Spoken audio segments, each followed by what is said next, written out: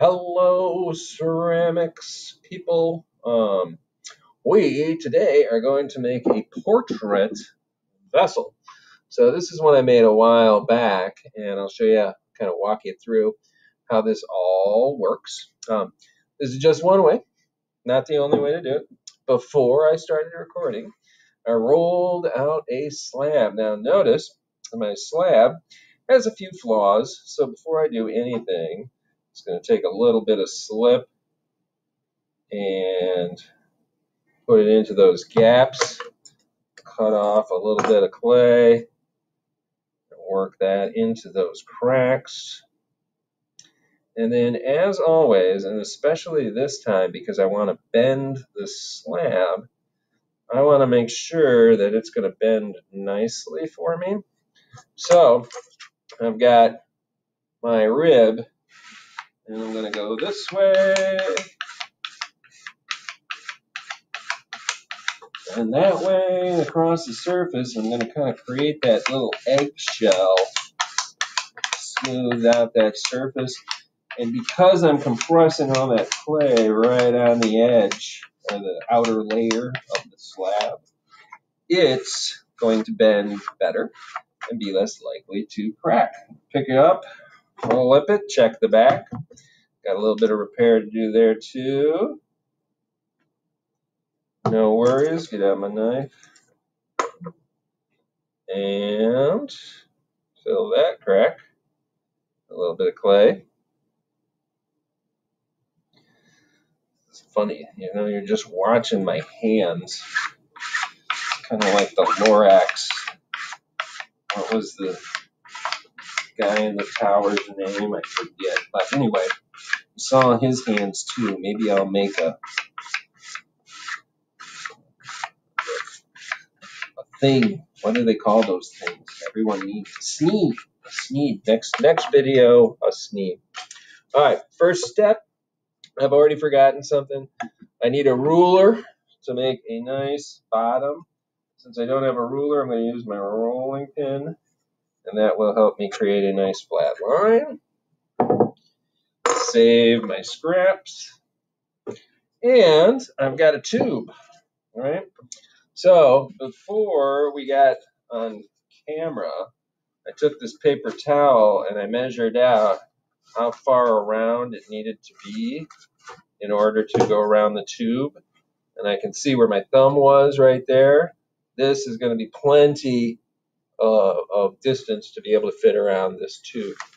Before I put it on the tube though, I am going to wrap this tube with this paper towel.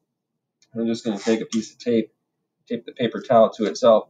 That'll allow me to get that form, and then when I need to, I'll be able to slide the tube out, and the paper towel will keep the clay from sticking to it. This will be my front, and so what I'm going to do is I'm going to make that face on the front. It's a little shiny for so it's hard for you to see. But I've got some soft clay, and what I want to do is I want to kind of plan this out a little bit. Um, when I'm doing a face, I know that it's going to be like a circular form, so I might draw just a basic circle on to my slab of clay. And if I want it to be realistic, my eyes are going to be about halfway down, so I can scratch in a little line about halfway down. I can draw another line vertically to make a separation between left and right. And then I'm going to start building the features themselves. But instead of building the features on this one, what I'm going to do is I'm going to kind of build around the features. So the first thing I'm going to put down is I'm going to put an eyebrow. So I've rolled out a little coil and I'm going to put that brow on that little bit of clay that I just pressed in there. And that's going to give me the upper part of the eye itself. Um, I can add to that even a little bit more. And I'm using like smaller coils to make this round. I might take away a little bit on the sides there as well. The second coil that I'm going to put down is going to be in the center. So I want to go halfway between what's going to be end up being like the chin and the line that I put in there for the eye itself. And if I figure out about where halfway is for that, it's going to be about there. And I'm going to start to add in something that will end up being my nose. Now that's not enough to be a nose yet, but eventually it will be. Then I'm going to add some clay for cheekbones. So these are going to be on the bottom side of what would be the eye. And they're kind of like longer, sort of like football shapes, right? What I'm going to do is I'm going to kind of bend them to start to make what will look like an eye socket. I'll do the same thing on the other side so that everything's symmetrical. So there's my football shape here. Oh, did I forget to put slip on the other side? I think I did. There. I've got slip everywhere. I'm going to put stuff you can see it ahead of time. So again, I'm kind of making the eye socket there. And then I'm going to come in, I'm going to make another one of those football shapes. That's pretty good. I Make it a little bit skinnier.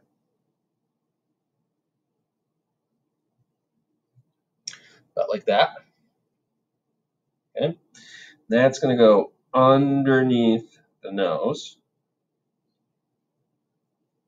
And then I'm going to put two coils on either side of the cheek, but not as thick, a skinnier coil. That's going to start to form the outside of his face on either side.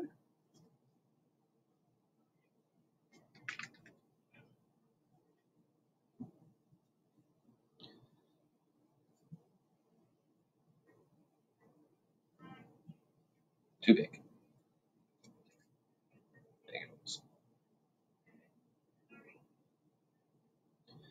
Okay, so coil for brow, coil for nose, cheekbones, sides, and then this is the skin above the lip itself. So now what I'm going to do is I'm going to start adding some more detail to this. So what I need is like a ball shape right? Dot of or slip on either side. That's going to go into that socket that I just created there. Here's the other socket that I've created. Now, I've got a couple of tools. I always have my knife with me, always got my fork with me. And I use this tool as well. It's got one side that's pointy and the other side is slightly curved. You know, when you look at it from the side, kind of see how it's curved. So I can take that and press down without completely flattening out that eyeball that I've just created there. So I'm going to press that so I get good contact. And then I'm going to take Oh shoot, I don't have my loop tool with me. But here's what I'll do. Is I will dig this out with the end of the fork. Take this fork, I'm going to scoop a little bit of clay out of the middle of each of those eyeballs. Now this is looking really freaky right now, right? Like if you take a good close look, look at how freaky that looks right now, right? But we're going to come in and we're going to soften some of those features so it's not as freaky looking. We'll get you a little bit closer here so it's easier to see. Okay. So the first thing I'm going to do is I'm going to replace a little bit of that clay back inside where I just scooped away the clay. So I'm going to take a little piece, to put it in there, but I'm not going to put it right in the middle move it to the side just a little bit. And that little bit of clay that I put in there is going to make it look like there's just a little bit of reflection on the eye itself. Then I'm going to take two small coils of clay. We're going to form that top eyelid. Then we're going to do the same thing on the bottom eyelid. So I've got two little coils. Okay. And I'm going to flatten them out a little bit, and I'm going to bend them. So I might need a little more clay actually. And I'm going to draw with them. So they're going to go right above the eye itself. And they're going to cover that top part of the eye. They aren't going around the eye, they're covering and touching right where I dug out that clay itself. So if you look a little bit closer, you can see how it's working. Okay. Now, there we go. Now here I'm going to come back. I'm going to start pressing in with the back side of this tool to start to fill the gaps between some of the stuff that I've put down already. So this starts to feel round. And here's a decision. Like you could keep pressing all this stuff in until it gets completely smooth. Or if you look closely at that texture that's there, you could decide to leave some of that texture. I like seeing the artist's touch in the final piece. So I'm not going to get rid of all of those marks. I'm going to leave some of that so that it looks like clay, but hopefully when I finish, it also looks like a face. So you can tell that I'm not afraid of the clay itself. So we're going to do the same thing on the bottom. I'm going to create two little lines with clay.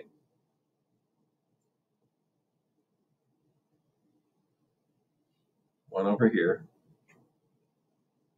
to about there. Another one over here to about there. Okay. And I'm going to start smushing that in. So I'm smushing below that edge. I'm not smushing the edge itself. I'm smushing below it.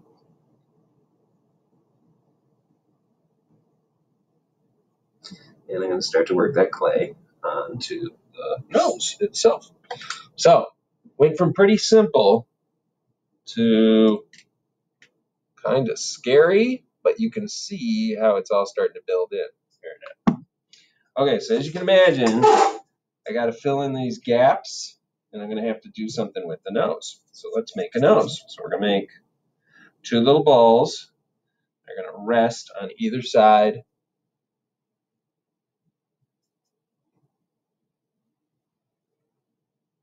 So I just put these in. They look like really big nostrils right now, but they're not going to be nostrils. Actually, I forgot to slip it. So slip, slip. Two little balls, right? I'm going to start to work all that clay together. I can even do this just with like my fingers. Okay. Down and into that clay that I built up for the, the mouth, above the mouth. Okay. But now that makes my nose look too small and weird. Okay? So what I want to do is I'm going to come back with two smaller balls, like pea-sized balls.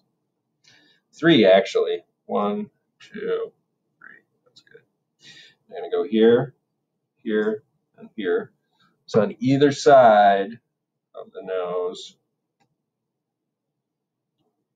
I'm going to place a ball of clay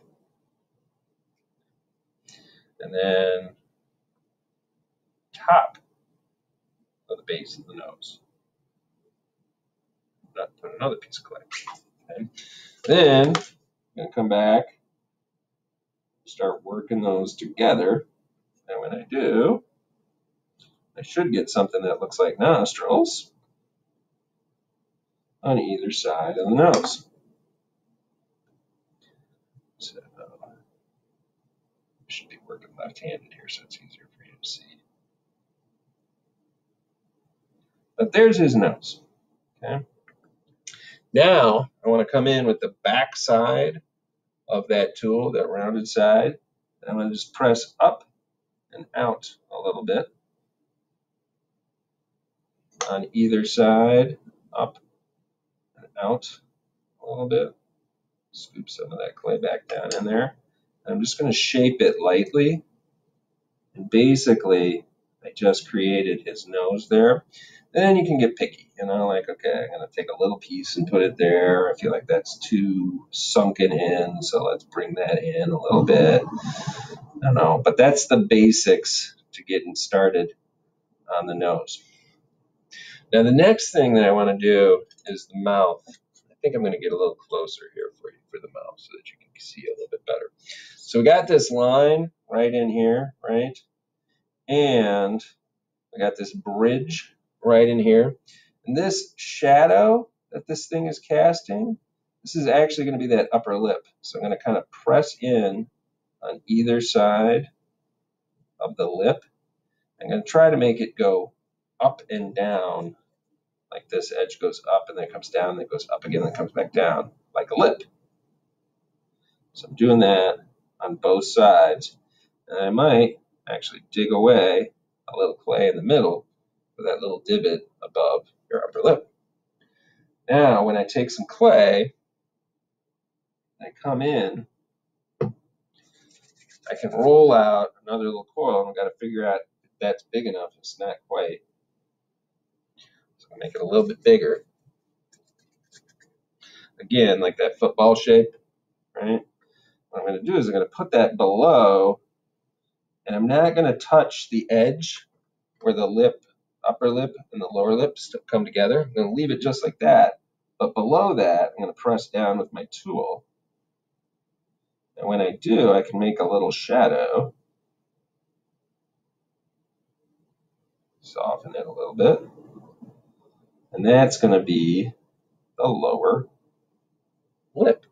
So now I've got two lips, right? I didn't really make them. I made the skin around them. Okay, last couple of things, and then we'll roll this guy up and we'll have our portrait vessel. Now, of course, the thing that's missing is a chin, but beyond the thing that's the other thing that's missing is that my my person here doesn't have a lot of personality. They're just kind of blankly staring back at you. So that might be something that you want to start thinking about. You know, like, okay, it looks like a person, but they don't really have much of an expression at all, right? So maybe if I wanted to try this more than once, you know, like this guy gave him a big mouth. He was opening up, you know, big lips, that sort of thing. So you can think about that as well when you're putting yours together. Okay, so let's get some texture and maybe, you know, I could work on this a lot more you know, I could add things that look like eyebrows.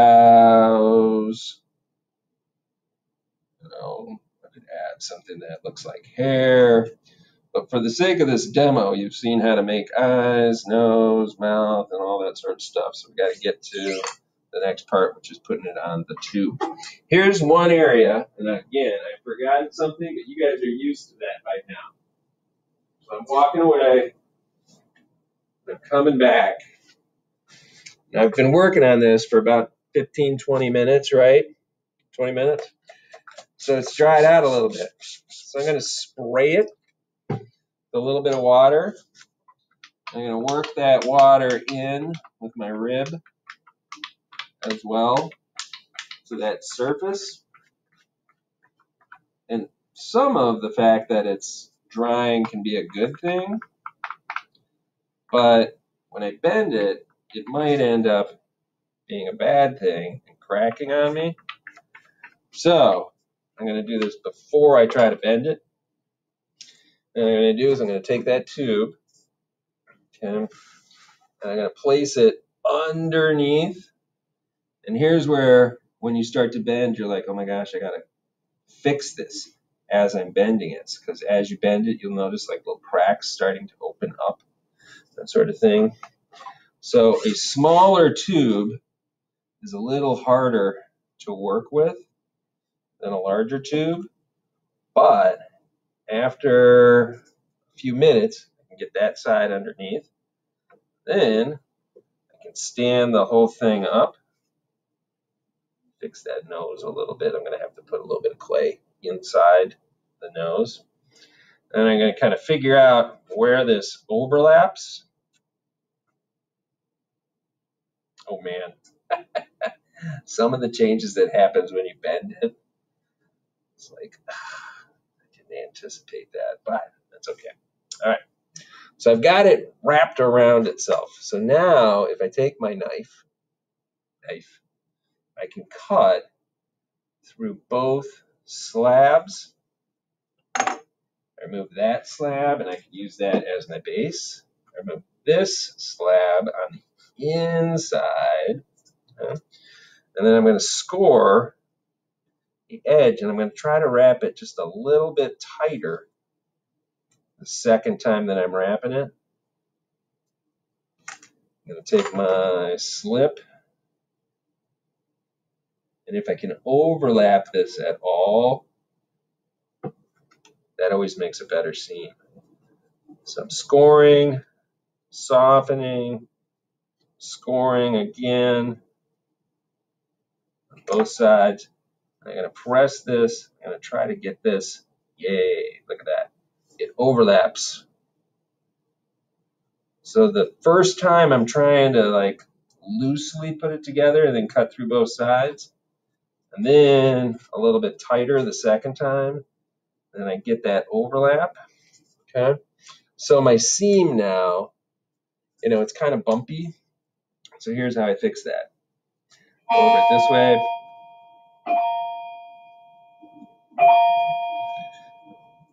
Go over it that way. I take my rib. I'm to press in. And I'm going to kind of like flex it. I'm to scoop press, go up that sleeve and then, or the, uh, the seam. I'm going to take some of this excess stuff and put that back on there and fill in that gap. Now I'm just at that point where I gotta fine tune him. Boy, he's funny looking. Decide if I want the top to be level or whether I want it to be natural. Why don't we go for level on this one? He will make a uh, nice pencil vase for someone. Or maybe I can make it a cup. I don't know. I got some touch up to do. So maybe I'll touch up and then come back so you can see the final thing. Everything gets stretched when you when you do it this way. But I'm going to take paper towel. Going to kind of try to like pull it off. And if I insert my hand in there, it's strong enough now that I can just lift this right out. And there you go. Scary person portrait face. Ah! I think I like this first one a little bit better. Okay, there he is. He's a little bit more fun. This one's a little bit more scary, but I can play with them now, make a base that they'll stand on, make a handle. Ta-da. I got a cup that no one will want to drink All right, there you go. Portrait vessel. See you guys later.